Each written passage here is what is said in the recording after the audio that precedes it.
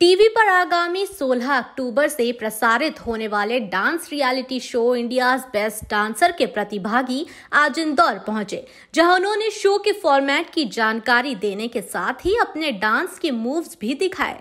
दरअसल टीवी पर जल्द ही इंडिया बेस्ट डांसर का सीज़न टू 16 अक्टूबर से प्रसारित होगा। वहीं शो के लिए देश भर के अलग अलग शहरों में ऑडिशन का दौर लगातार जारी है। इस शो के प्रतिभागी के रूप में तीन कलाकार इंदौर पहुँचे। जहाँ उन्होंने शो में सिलेक्ट होने और शो के फॉर्मेट को लेकर मीडिया से चर्चा की। प्रतिभागियों ने कहा कि पहले के दौर में मध्य प्रदेश से बहुत ही कम प्रतिभागी इस तरीके के रियलिटी शो में भाग लेते थे।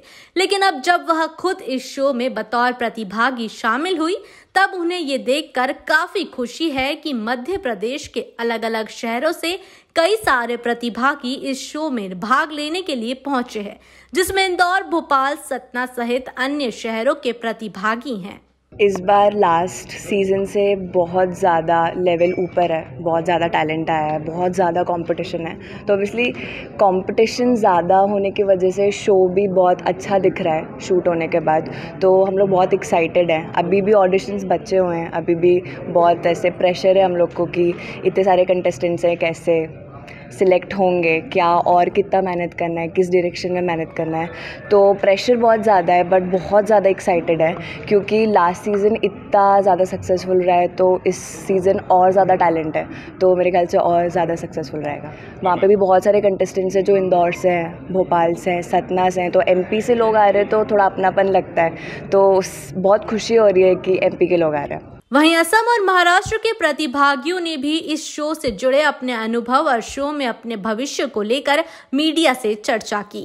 गुवाहाटी एक छोटा सा शहर है असम में और वहाँ के लोग जो है वो बहुत ही ज़्यादा मेहनती है और बहुत ज़्यादा ओपन माइंडेड है। आ, कुछ भी चीज़ को लेके उन लोग को ईगो नहीं है इसीलिए वो लोग का जो माइंडसेट है किसी भी आर्ट फॉर्म को लेके बीट डांस पेंटिंग सिंगिंग तो उन लोग में वो हमेशा अव्वल आते बिकॉज़ उन लोग का दिमाग बंधा हुआ नहीं है एक बॉक्स के अंदर नहीं है। इसीलिए जो लोग भी रियलिटी शोज़ करने आते हैं, गुवाहाटी से लोग, बच्चे जो भी आते हैं, वो लोग काफ़ी आगे तक जाते हैं और लाइक अभी रिसेंटली एक शो हुआ था जिसमें एक बच्ची गुवाहाटी से और वो शो जीत गई थी।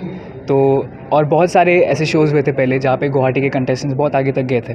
तो फिर गुवाहाटी में टैलेंट तो बहुत ज़्यादा है और मैं ऐसे सिटी से बिलोंग करता हूँ तो I feel very proud belong to a city like that और I try my level best to represent my city मैं रिप्रेजेंट करूँगा अपनी सिटी को और I make my people proud एक पार्टी के लिए गया था तो पार्टी में वो सॉन्ग बजा था और और वो मतलब पार्टी के लिए गया था और वो एक सॉन्ग बजा था लैला।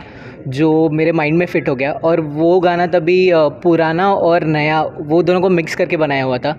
सो so यस yes, ऐसे कई जगह से बहुत सारे सॉन्ग सुन के हमारे दिमाग में ऐसे सब आइडियाज़ आते हैं फिर उसको रिक्रिएट करते हैं उस पर काम करते हैं एंड देन हम लोग खुद का रूटीन बना के उस पर प्रेजेंट करते हैं। So yes compare to last season ये सीज़न बहुत ही ज़्यादा लेवल अप है एंड बहुत ही ज़्यादा टफ होने वाला है हमारे लिए uh, बाकी कंटेस्टेंट्स को बीट करना।